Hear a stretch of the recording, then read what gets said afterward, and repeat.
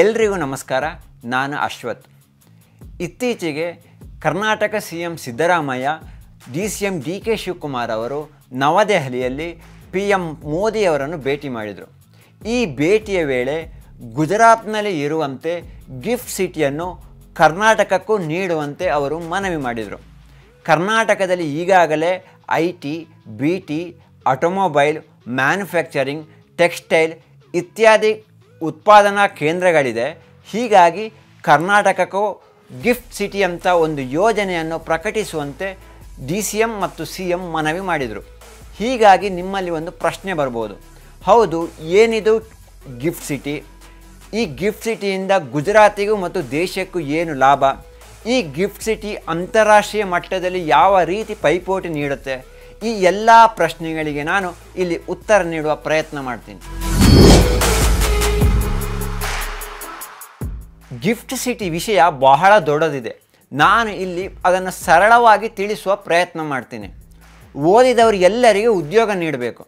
ಆದರೆ ಸರ್ಕಾರ ಎಲ್ಲರಿಗೂ ಉದ್ಯೋಗ ನೀಡಲು ಸಾಧ್ಯವಿಲ್ಲ.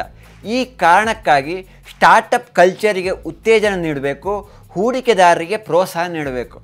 ಆದರೆ ಭಾರತದಲ್ಲಿ ಮೊದಲಿನಿಂದಲೂ ಹೂಡಿಕೆಗೆ ಪ್ರೋತ್ಸಾಹ ಸಿಗ್ತಾ ಇಲ್ಲವಂತ ಒಂದು ಗಂಭೀರವಾದ ಆರೋಪ ಇದೆ. ಈ ಆರೋಪ ಹೌದಾ ಅಲ್ವಾ ಅಂತ ಒಂದು ಚೆಕ್ ಮಾಡಿದರೆ ಇದು ಹೌದು ಅಂತ ಅನಿಸುತ್ತೆ. ಯಾಕೆ ಅಂತ ಅಂದರೆ ಒಂದು ಸ್ಟಾರ್ಟಪಿಗೆ ಭಾರತದಲ್ಲಿ ಸಾಧಾರಣವಾಗಿ ಇಪ್ಪತ್ತೈದು point one seven percent corporate ತೆರಿಗೆ ಇದ್ದರೆ ದುಬೈಲಿ ಝೀರೋ ಪರ್ಸೆಂಟ್ ಮಲೇಷ್ಯಾದಲ್ಲಿ ತ್ರೀ ಪರ್ಸೆಂಟ್ ಸಿಂಗಾಪುರದಲ್ಲಿ ಸೆವೆಂಟೀನ್ ಪರ್ಸೆಂಟ್ ಕಾರ್ಪೊರೇಟ್ ತೆರಿಗೆ ಇದೆ ಇದರಿಂದ ಏನಾಗುತ್ತೆ ಅಂದರೆ ಭಾರತದಲ್ಲಿ ಬೇರೆ ದೇಶಗಳಂತೆ ಸ್ಟಾರ್ಟಪ್ಗಳು ಹೆಚ್ಚಿನ ಸಂಖ್ಯೆಯಲ್ಲಿ ಹುಟ್ಟಿಕೊಳ್ಳಲ್ಲ. ವಿದೇಶಗಳಲ್ಲಿ ಸ್ಟಾರ್ಟಪ್ಗಳು ಹುಟ್ಟಿಕೊಳ್ಳುತ್ತವೆ ಅದರ ಒಂದು ಬ್ರ್ಯಾಂಚ್ ಭಾರತದಲ್ಲಿ ಓಪನ್ ಆಗುತ್ತೆ. ಈ ಮೂಲಕ ವಿದೇಶಗಳಲ್ಲಿ ತೆರಿಗೆ ಹೆಚ್ಚಾಗಿ ಕಾರ್ಪೊರೇಟ್ ತೆರಿಗೆ ಸಂಗ್ರಹವಾಗುತ್ತೆ. ಎರಡನೆಯದ್ದು ಭಾರತದಲ್ಲಿ ಕಾನೂನು ರೀತಿಯ ಸಮಸ್ಯೆಗಳನ್ನು ಬಗೆಹರಿಸಿಕೊಡ್ಬೇಕಂತಂದರೆ ಬಹಳ ಕಷ್ಟ ಮತ್ತು ದೀರ್ಘಾವಧಿ ಹಿಡಿಯುತ್ತೆ. ಯಾವುದಾದ್ರೂ ಒಂದು ಸಾಫ್ಟ್ವೇರ್ ಕಂಪನಿ ಇಂಟೆಲೆಕ್ಚುವಲ್ ಪ್ರಾಪರ್ಟಿ ಸಂಬಂಧ ಮತ್ತೊಂದು ಕಂಪನಿ ವಿರುದ್ಧ ದಾವೆ ಹಾಕಿದರೆ ಅದು ಕೋರ್ಟ್ನಲ್ಲಿ ಪರಿಹಾರ ಆಗಲಿಕ್ಕೆ ಹಲವು ವರ್ಷ ಹಿಡಿಯುತ್ತೆ. ಮೊದಲನೇದಾಗಿ ಎನ್ ಸಿ ಎಲ್ ಟಿಗೆ ಹೋಗುತ್ತೆ. ಅಂದರೆ ನ್ಯಾಷನಲ್ ಕಂಪನಿ ಲಾ ಟ್ರಿಬ್ಯುನಲಿಗೆ ಹೋಗುತ್ತೆ. ಆ ನಂತರ ಅದು ಹೈಕೋರ್ಟಿಗೆ ಹೋಗುತ್ತೆ. ಆ ಬಳಿಕ ಕೊನೆಗೆ ಸುಪ್ರೀಂ ಕೋರ್ಟಿಗೆ ಹೋಗುತ್ತೆ. ಭಾರತದ ಸುಪ್ರೀಂ ಕೋರ್ಟ್ನಲ್ಲಿ ಎರಡು ಸಾವಿರದ ಇಪ್ಪತ್ತ್ಮೂರರ ಅವಧಿಗೆ ಎಪ್ಪತ್ತೆಂಟು ಸಾವಿರ ಕೇಸುಗಳು ಪೆಂಡಿಂಗ್ ಇದ್ದರೆ ಹೈಕೋರ್ಟ್ನಲ್ಲಿ ಐವತ್ತೊಂಬತ್ತು ಲಕ್ಷ ಕೇಸುಗಳು ಬಾಕಿ ಇತ್ತು. ಪರಿಸ್ಥಿತಿಗಳು ಹೀಗಿರುವಾಗ ಈ ಸಾಫ್ಟ್ವೇರ್ ಕಂಪನಿಗೆ ಕೊನೆಗೆ ಜಯ ಸಿಕ್ಕಿದ್ರು ಆ ಸಾಫ್ಟ್ವೇರ್ ಐದಾರು ವರ್ಷದಲ್ಲಿ ಔಟೇಟ್ ಆಗಿರುತ್ತೆ. ಹೀಗಾಗಿ ಭಾರತದಲ್ಲಿ ಹೂಡಿಕೆ ಮಾಡಲಿಕ್ಕೆ ಹಲವು ಕಂಪನಿಗಳು ಹಿಂದೇಟು ಹಾಕ್ತವೆ. ಆದರೆ ವಿದೇಶಗಳಲ್ಲಿ ಇಂಥ ಐ ಪಿ ಕೇಸುಗಳು ಕೆಲ ವಾರ ಮತ್ತು ಕೆಲ ವರ್ಷಗಳಲ್ಲಿ ಇತ್ಯರ್ಥವಾಗುತ್ತೆ. ಈ ಕಾರಣಕ್ಕಾಗಿ ವಿದೇಶಗಳಲ್ಲಿ ಸ್ಟಾರ್ಟಪ್ ಕಲ್ಚರ್ ಹೂಡಿಕೆಗಳಿಗೆ ಹೆಚ್ಚಿನ ಪ್ರೋತ್ಸಾಹ ಸಿಗುತ್ತೆ. ನೀವು ಗಮನಿಸಿರ್ಬೋದು ಭಾರತದಲ್ಲಿ ಹಲವಾರು ವಿದೇಶಿ ಕಂಪನಿಗಳು ತನ್ನ ಬ್ರ್ಯಾಂಚನ್ನು ಓಪನ್ ಮಾಡಿವೆ. ಆದರೆ ಭಾರತದ ಕಂಪನಿಗಳು ವಿದೇಶಗಳಲ್ಲಿ ಬ್ರ್ಯಾಂಚನ್ನು ಓಪನ್ ಮಾಡೋದು ಬಹಳ ಕಡಿಮೆ ಇದೆ. ಇದು ಯಾಕೆ ಅಂತಂದರೆ ವಿದೇಶಿ ಬ್ಯಾಂಕ್ಗಳು ಭಾರತದ ಕಂಪನಿಗಳಿಗೆ ಅಷ್ಟು ಸುಲಭವಾಗಿ ಸಾಲ ನೀಡಲ್ಲ.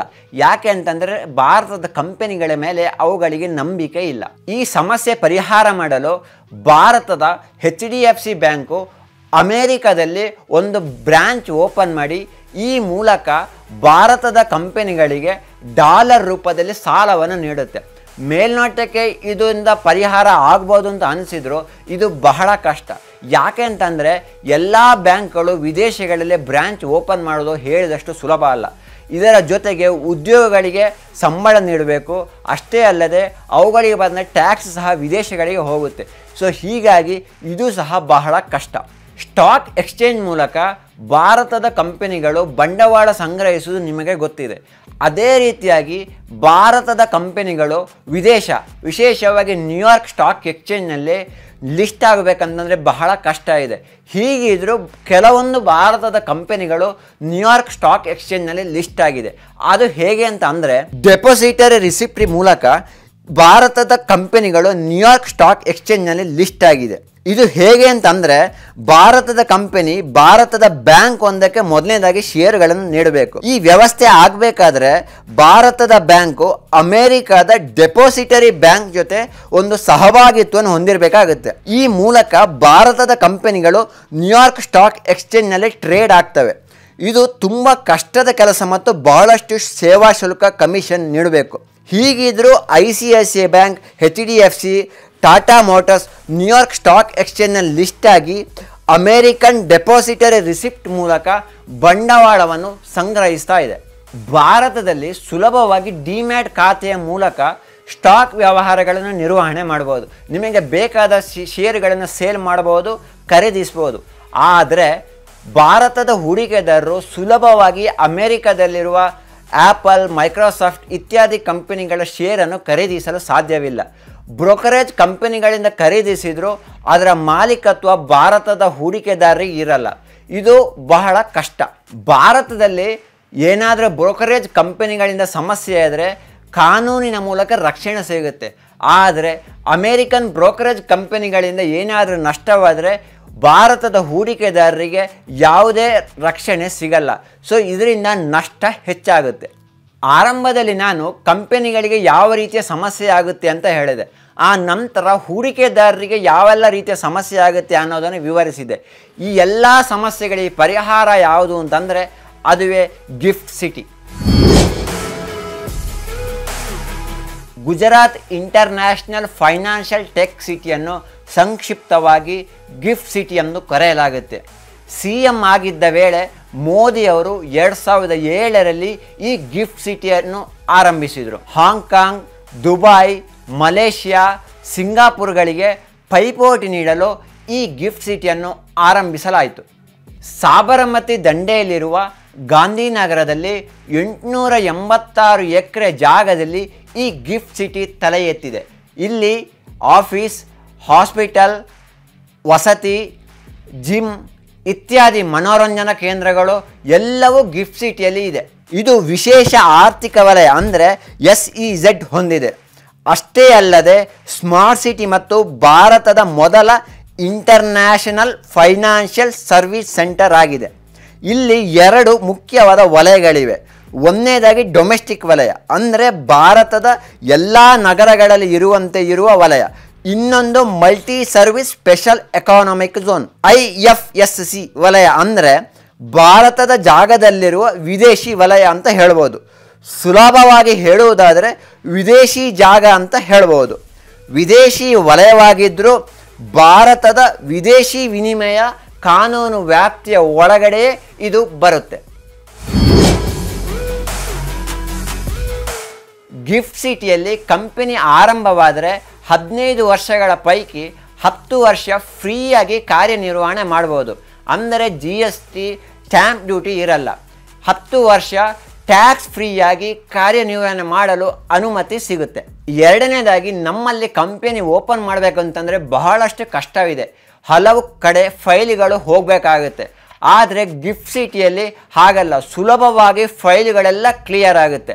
ಇದಕ್ಕಾಗಿ ನ್ಯಾಷನಲ್ ಸಿಂಗಲ್ ವಿಂಡೋ ಸಿಸ್ಟಮ್ ಇದೆ. ಈ ಮೂಲಕ ಬಹಳ ಬೇಗನೆ ಕಂಪನಿಯನ್ನು ಇಲ್ಲಿ ಸ್ಥಾಪನೆ ಮಾಡಬಹುದು. ಮೂರನೇದಾಗಿ ನಾನು ಮೊದಲೇ ಹೇಳಿದ್ದೆ, ಭಾರತದ ಕಂಪನಿಗಳಿಗೆ ವಿದೇಶಿ ಬ್ಯಾಂಕ್ಗಳು ಸುಲಭವಾಗಿ ಸಾಲ ನೀಡಲ್ಲ.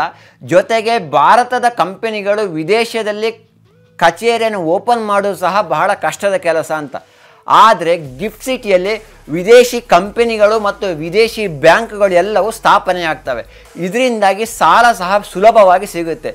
ಇದು ಹೇಗೆ ಸಿಗುತ್ತೆ ಅಂತಂದರೆ ಇಂಟರ್ನ್ಯಾಷನಲ್ ಬ್ಯಾಂಕಿಂಗ್ ಯೂನಿಟ್ ವ್ಯವಸ್ಥೆ ಇರುವುದರಿಂದ ಭಾರತದ ಕಂಪನಿಗಳಿಗೆ ಸುಲಭವಾಗಿ ವಿದೇಶಿ ಬ್ಯಾಂಕ್ಗಳು ಸಾಲ ನೀಡುತ್ತವೆ. ಇದರಿಂದಾಗಿ ಭಾರತಕ್ಕೆ ಮೂರು ರೀತಿಯಲ್ಲಿ ಲಾಭ ಆಗುತ್ತೆ.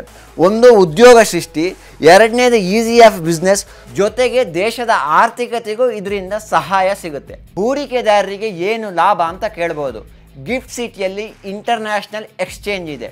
ಈ ಮೂಲಕ ಭಾರತದ ಹೂಡಿಕೆದಾರರು ವಿದೇಶದ ಕಂಪನಿಗಳಲ್ಲಿರುವ ಷೇರುಗಳನ್ನು ಖರೀದಿಸ್ಬೋದು ಅದೇ ರೀತಿಯಾಗಿ ವಿದೇಶಿ ಹೂಡಿಕೆದಾರರು ಭಾರತದ ಕಂಪನಿಗಳ ಷೇರುಗಳನ್ನು ಸುಲಭವಾಗಿ ಖರೀದಿಸಬಹುದು. ಏನಾದರೂ ಸಮಸ್ಯೆ ಆದರೆ ಗಿಫ್ಟ್ ಸಿಟಿಯಲ್ಲಿರುವ ರೆಗ್ಯುಲೇಟ್ರಿಯನ್ನು ಸಂಪರ್ಕ ಮಾಡಬಹುದು. ಕೊನೆಯದಾಗಿ, ಕಾನೂನು ಸಮಸ್ಯೆ ಬಂದರೆ gift city Singapore international arbitration centre ಜೊತೆ ಸಹಯೋಗವನ್ನು ಹೊಂದಿದೆ. ಈ ಮೂಲಕ ಕಂಪನಿಗಳ ನಡುವಿನ ವ್ಯಾಜ್ಯ ಬಹಳ ಸುಲಭವಾಗಿ ಪರಿಹಾರವಾಗುತ್ತೆ. ಮೊದಲೇ ಹೇಳಿದಂತೆ ದುಬೈ, ಸಿಂಗಾಪುರ ಹಾಂಗ್ಕಾಂಗ್ಗೆ ಸ್ಪರ್ಧೆ ನೀಡಲು ಈ ಗಿಫ್ಟ್ ಸಿಟಿಯನ್ನು ಆರಂಭಿಸಲಾಗಿದೆ ಅಂತ. ಇದರ ಜೊತೆ ಭಾರತದ ಕಂಪನಿಗಳಿಗೆ ಸುಲಭವಾಗಿ ಸಾಲ ಸಿಗುತ್ತೆ. ಜೊತೆಗೆ ಭಾರತದ ಕಂಪನಿಗಳು ವಿದೇಶಗಳಲ್ಲಿ ಲಿಸ್ಟ್ ಆಗಲು ಸಹ ಹೆಲ್ಪ್ ಆಗುತ್ತೆ. ಗಿಫ್ಟ್ ಸಿಟಿಯಲ್ಲಿ ಕಂಪನಿ ಓಪನ್ ಮಾಡಿದರೆ ದೇಶದ ಆರ್ಥಿಕತೆಗೂ ಸಹಾಯವಾಗುತ್ತೆ. ಜೊತೆಗೆ ದೇಶದ ಹಲವು ಪ್ರತಿಭಾನ್ವಿತರಿಗೆ ಉದ್ಯೋಗ ಸಹ ಸಿಗುತ್ತೆ. ಎರಡು ಸಾವಿರದ ಹದಿನೈದರಲ್ಲಿ ಗಿಫ್ಟ್ ಸಿಟಿ ಆರಂಭವಾಗಿದ್ದರೂ ಕೊರೋನಾದಿಂದಾಗಿ ಸ್ವಲ್ಪ ಸಮಸ್ಯೆಯಾಗಿತ್ತು. ಆದರೆ ಈಗ ಇನ್ನೂರಕ್ಕೂ ಹೆಚ್ಚು ಕಂಪನಿಗಳು ಇಲ್ಲಿ ಸ್ಥಾಪನೆಯಾಗಿದೆ. ಹತ್ತೊಂಬತ್ತು ಬ್ಯಾಂಕಿಂಗ್ ಯೂನಿಟ್, ಇಪ್ಪತ್ತೈದು ಇನ್ಶೂರೆನ್ಸ್ ಜೊತೆ ಬ್ರೋಕರೇಜ್ ಕಂಪನಿಗಳು, ಹಲವಾರು ಫೈನಾನ್ಸ್ ಸರ್ವಿಸ್ ಕಂಪನಿಗಳು ಇಲ್ಲಿ ಸ್ಥಾಪನೆಯಾಗಿದೆ. ಗಿಫ್ಟ್ ನಿಫ್ಟ್ ಈಗಾಗಲೇ ಯಶಸ್ವಿಯಾಗಿದ್ದು, ಜೂನ್ ತಿಂಗಳಿನಲ್ಲೇ ಬರೋಬ್ಬರಿ ಏಳು ಪಾಯಿಂಟ್ ಒಂಬತ್ತು ಲಕ್ಷ ಕೋಟಿ ವಹಿವಾಟು ನಡೆಸಿದೆ. ಒಂದೊಂದು ಕಂಪನಿಗಳು ಕನಿಷ್ಠ ಐನೂರು ಮಂದಿಗೆ ಉದ್ಯೋಗ ನೀಡಿದರೂ ಸಾವಿರಾರು ಮಂದಿಗೆ ಉದ್ಯೋಗ ಸಿಕ್ಕಿದಂತಾಗುತ್ತೆ.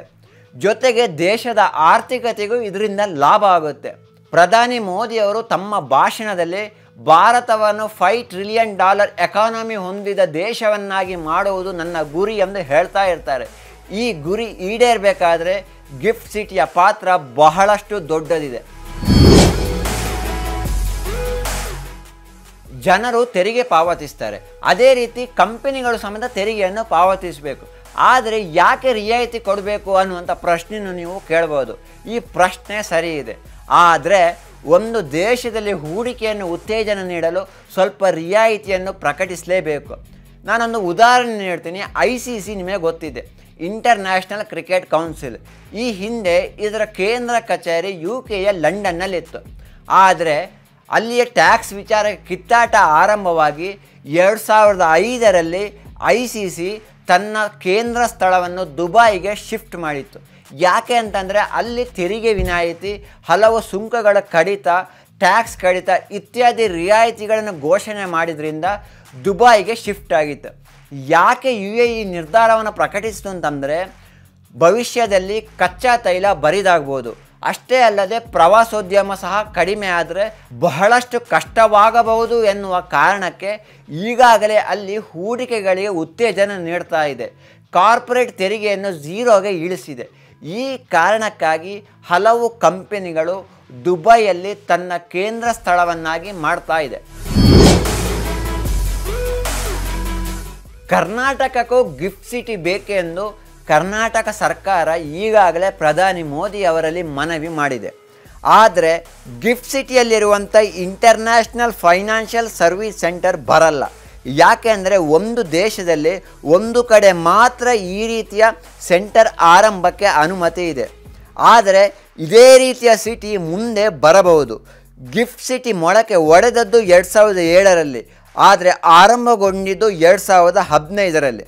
ಬೆಂಗಳೂರು ಈಗ ದೇಶದ ಐ ಟಿ ಹಬ್ ಆಗಿದೆ ಈ ಐ ಟಿ ಹಬ್ ಆಗಿದೆ ಹೇಗೆ ಅಂತಂದರೆ ಸಾವಿರದ ಒಂಬೈನೂರ ಎಂಬತ್ತು ತೊಂಬತ್ತರ ಅವಧಿಯಲ್ಲಿ ಸರ್ಕಾರಗಳು ನೀಡಿದ ಪ್ರೋತ್ಸಾಹದಿಂದ ಅಂದು ಬಿತ್ತಿದ ಬೀಜ ಇಂದು ಫಲ ನೀಡ್ತಾ ಇದ್ದು, ಲಕ್ಷಾಂತರ ಮಂದಿಗೆ ಉದ್ಯೋಗ ನೀಡ್ತಾ ಇದೆ. ಹೀಗಾಗಿ ಯಾವುದಾದ್ರೂ ಒಂದು ಮಹತ್ವಾಕಾಂಕ್ಷೆಯ ಯೋಜನೆ ಆರಂಭವಾಗಬೇಕು ಅಂತಂದರೆ, ಅದಕ್ಕೆ ಪ್ಲ್ಯಾನು ವಿಷನ್ನು ಆಮೇಲೆ ಟೈಮ್ ಲೈನ್ ಯಾವ ವರ್ಷ ಏನಾಗಬೇಕು, ಈ ರೀತಿಯ ಯೋಜನೆಗಳನ್ನು ಸರ್ಕಾರ ಮೊದಲು ಸಿದ್ಧಪಡಿಸಬೇಕು. ಈ ರೀತಿಯ ಯೋಜನೆಗಳನ್ನು ಸಿದ್ಧಪಡಿಸಿದರೆ ಖಂಡಿತವಾಗಿಯೂ ಕರ್ನಾಟಕದಲ್ಲೂ ಗಿಫ್ಟ್ ಸಿಟಿಯಂತಹ ಮತ್ತೊಂದು ಯೋಜನೆ ಬರುವುದರಲ್ಲಿ ಯಾವುದೇ ಅನುಮಾನ ಇಲ್ಲ. ಈ ನಿಟ್ಟಿನಲ್ಲಿ ಸರ್ಕಾರ ಕೆಲಸ ಮಾಡಬೇಕಾಗಿದೆ. ಧನ್ಯವಾದಗಳು.